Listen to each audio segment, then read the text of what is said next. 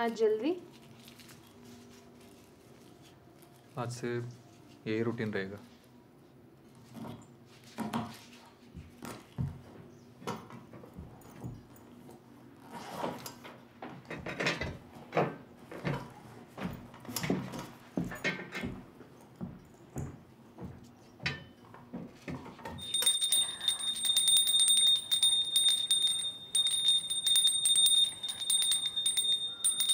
दादी दादी, मैं लेट हो रहा हूँ, मैं जाऊँ।